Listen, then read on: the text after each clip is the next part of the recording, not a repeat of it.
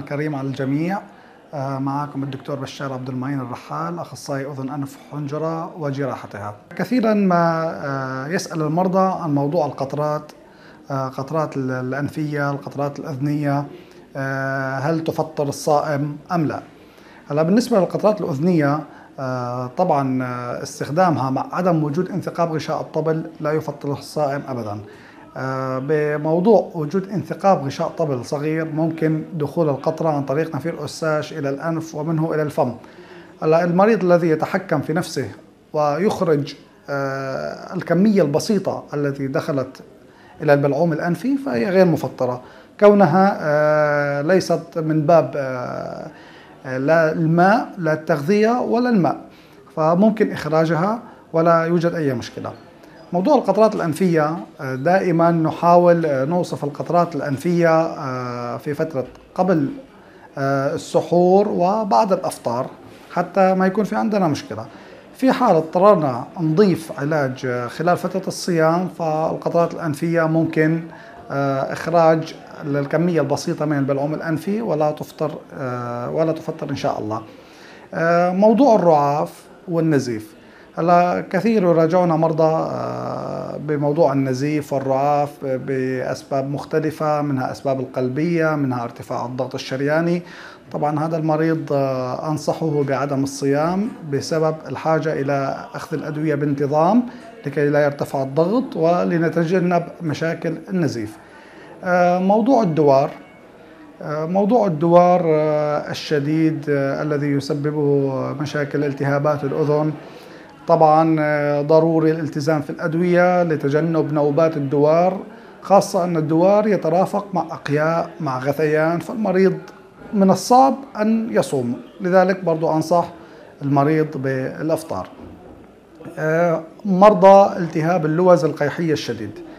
على مريض التهابات اللوز القيحية الشديدة غالبا المريض يأتي بنوبة ألم شديد في البلع مع حمى مع حرارة المريض بحاجة إلى تناول السوائل بكثرة وبالتالي الصيام يؤثر عليه من ناحية قلة السوائل قلة التغذية. لذلك أنصح برضو بالعلاج والإفطار وتعويض الأيام التي أفطرها المريض.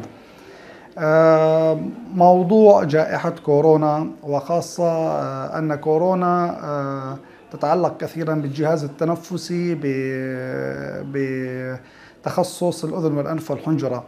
طبعا آه، كورونا كما هو معروف هو مرض فيروسي ينتقل عن طريق الرذاذ عن طريق السعال من المريض إلى الإنسان السليم. لذلك لبس الكمامة يقي 90% من انتشار العدوى بين الناس. هذا واحد. فأولا لبس الكمامة. هلا أنوه قليلا على لبس الكمامة. دائما الكمامة تكون نظيفة فما في مشكلة آه، في لبس الكمامة. ممكن بمسك آه، من المطاطة ولبس الكمامة والإغلاق المحكم من الأعلى حتى نقي الأنف طيب لبس الكمامة ما في مشكلة. خلع الكمامة. عندما نخلع الكمامة لا نمسكها من أماكن التلوث. نمسكها كما لبسناها من المطاطة ونطرحها في السلة.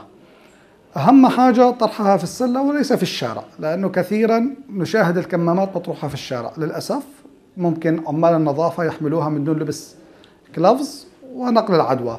لبس الكمامة هو بشكل عام هو يفضل كل أربع ساعات تبديلها بس بسبب آه، يعني ممكن صعوبة توفير الكمامة فممكن أيضا استخدام غسيل الكمامة بالماء والصابون مدة دقيقة ومن ثم نشرها وإعادة لبسها أقل ما يمكن يعني لتقليل انتشار الكورونا.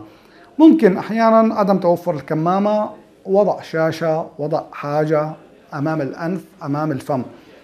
طبعا المرضى المشتبه فيهم كورونا. طبعا آه، من الصعب أن نفحص جميع المرضى PCR والتشخيص الأكيد لمريض كورونا. دائما هناك مريض مشكوك الذي نشك أن لديه أعراض كورونا من زكام من سعال من حمى عالية من فقدان حاسة الشم والذوق. طبعا هذا المريض بننصحه يتجنب المرضى يتجنب الناس يجلس في منزله إلى حين زوال الأعراض. في حال ظهور أعراض آه، كضيق التنفس ضروري التوجه إلى المستشفى. آه، طبعا يبقى على تواصل مع الطبيب في ظهور أي أعراض جديدة. عدم المصافحة غسيل اليدين بالماء والصابون أو بالكحول الطبي اللي هو الإسبرت. مدة 20 ثانية. الاهتمام في التغذية ضروري جدا. طبعا فيتامين سي موجود في كثرة في الليمون في البرتقال. آه، ممكن استخدام الليمون والبرتقال. طبعا أهم شيء طبعا العادات آه، التي كنا نتبعها قديما آه، في عالمنا آه، وهي الموائد موائد الإفطار.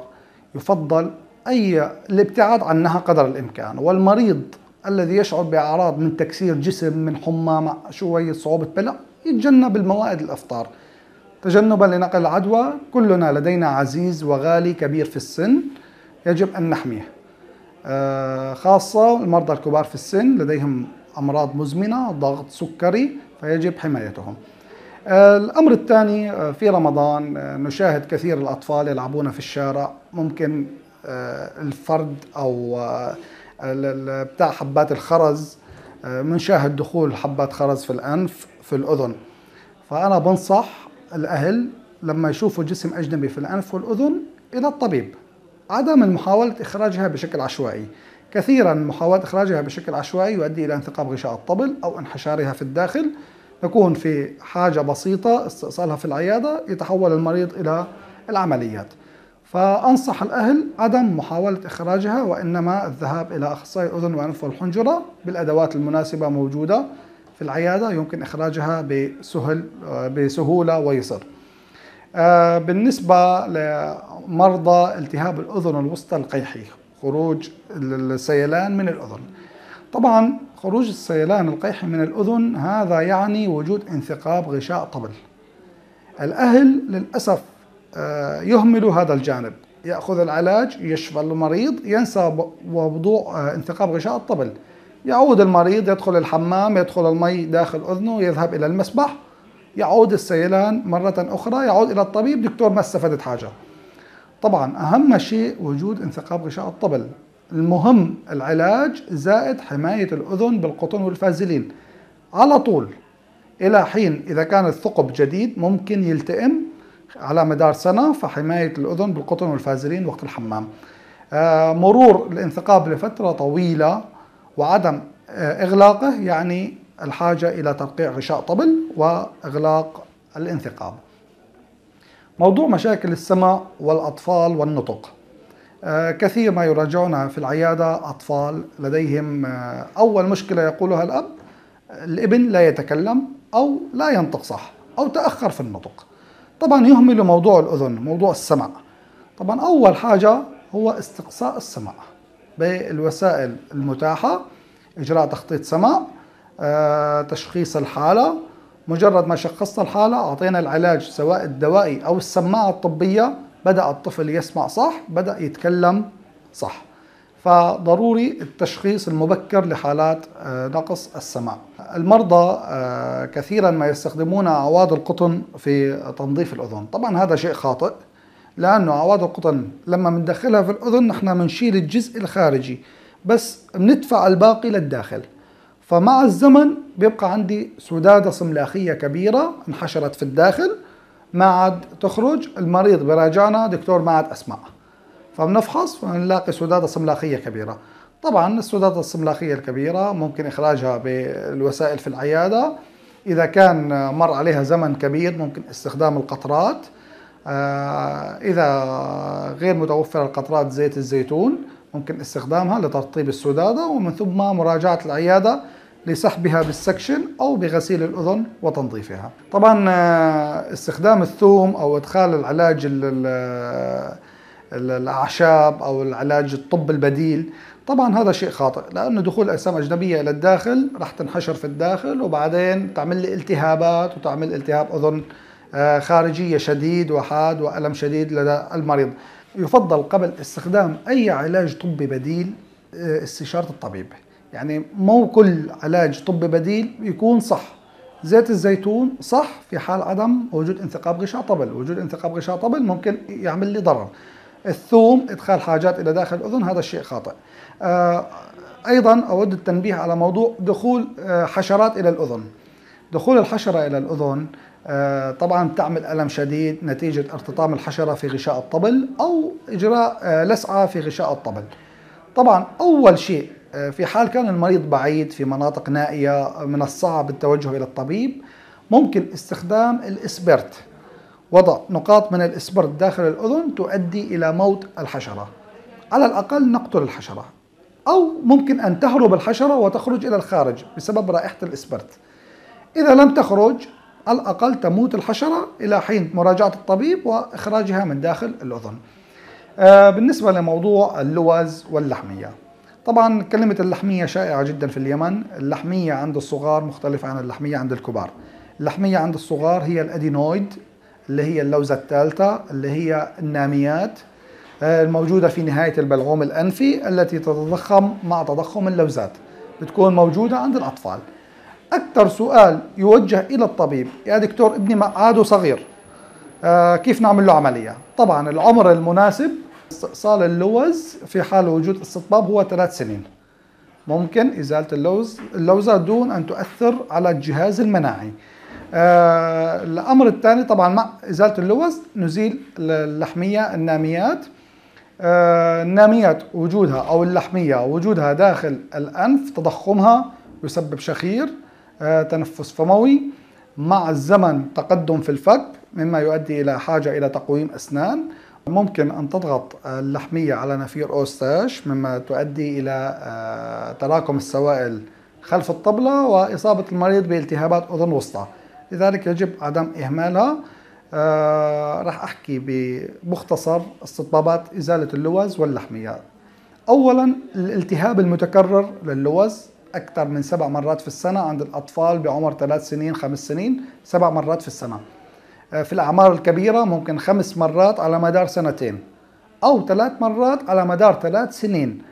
وهذا في الأعمار الكبيرة. الأمر الثاني عند الكبار ممكن نستأصل اللوز بسبب رائحة الفم الكريهة آه، التي تسببها اللوز.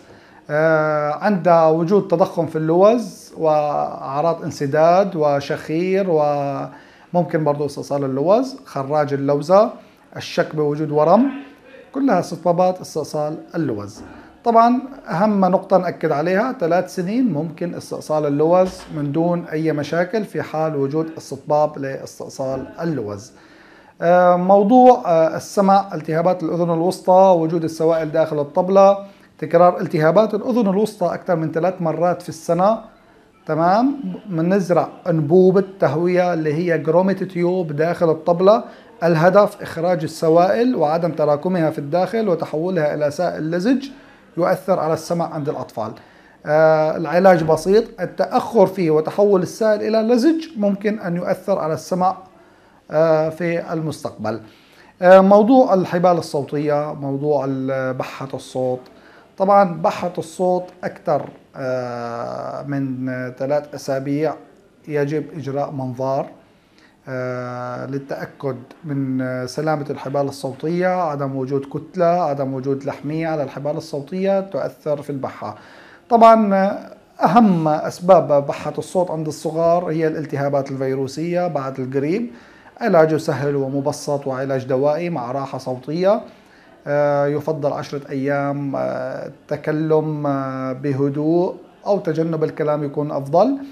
مع علاج مع بعض الإرشادات. آه، بالنسبة لكبير السن المدخنين آه، طبعا آه، وضع التبغ وضع القات للأسف أكثر من حالة جت إلى مستشفى صابر. وجود أورام في اللسان بسبب استخدام القات المزمن وبشراهة كبيرة أدى إلى استئصال جزء من اللسان بسبب وجود الأورام. فيجب تجنب العادات السيئة. آه، الاهتمام بنظافة الفم. نظافة الفم آه، له علاقة بشكل أساسي مع اللوز مع البلعوم. آه، بالنسبة لفيروس كورونا أول ما يدخل الأنف بيستوطن في البلعوم الأنفي. هذا مكانه الأساسي. لهيك بنشوف في ال PCR بندخل الأداة القطن أو عود القطن إلى البلعوم الأنفي لنأخذ منه مسحة هالشيء مو معناته إنه الفيروس ما بيتواجد في أماكن ثانية ممكن نشوفه في اليدين ممكن نشوفه في العين ممكن نشوفه في الجهاز التنفسي. بس في البداية ممكن أخذ العينة عن طريق البلعوم الأنفي وفحصها للتأكد من وجود الفيروس أو عدم آه، وجود الفيروس. آه، لهيك آه، بنرجع بنأكد على الكمامة. كونه المخزن الفيروس هو البلعوم الأنفي فبأكد مرة ثانية على وجود الكمامة ولبس الكمامة. تجنب المصافحة تجنب الاختلاط الأسواق تجنب موائد الطعام طبعا خاصة بالنسبة للمرضى لكبار السن.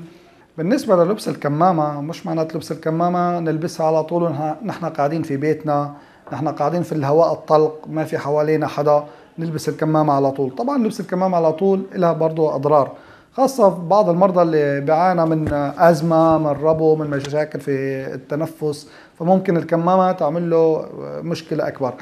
الكمامة بنلبسها لما بنتوجه على أماكن آه، مزدحمة. أماكن آه، ممكن يكون جنبي حد عنده سعال عنده أعراض فحتى أقي نفسي فبلبس الكمامة. أما وجودي في الهواء الطلق في, الصباح خاصة واكد في المشي الصباحي في الخارج في الهواء الطلق مفيد جدا لأخذ الأكسجين. آه، ما في داعي للكمامة. في السيارة أنا جالس في السيارة وحدي ما فيش حد معي ما فيش داعي للكمامة. بس بأكد على الكمامة. الآن آه، في شهر رمضان الصلوات التراويح الصلوات في المساجد آه، ممكن يكون جنبي آه، حد مصاب ما عنده أعراض لأنه مش كل مصاب عنده أعراض. للأسف هناك بعض المرضى لديهم الفيروس ولا يوجد لديهم أعراض شديدة. عبارة عن تكسير بسيط في الجسم شوية صعوبة في البلع وبعدها بتعدي. مناعته كويسة وعدت. فلهيك أنا بأكد لبس الكمامة في الأماكن المزدحمة وليس في كل مكان. آه وطبعا في صلوات التراويح بتمنى يكون في تباعد آه، بين المصلين حتى ما يصير في عدوى. آه لبس الكمامة في المساجد طبعا يقينا كثيرا من انتشار وعدوى فيروس كورونا. إن شاء الله شافانا الله وعافانا من جميع الأمراض وكل عام وأنتم بخير وأشكر قناتكم الكريمة على حسن الضيافة وشكرا لكم. تمنياتي لليمن السعيد ولسوريا دوام الأمن والأمان.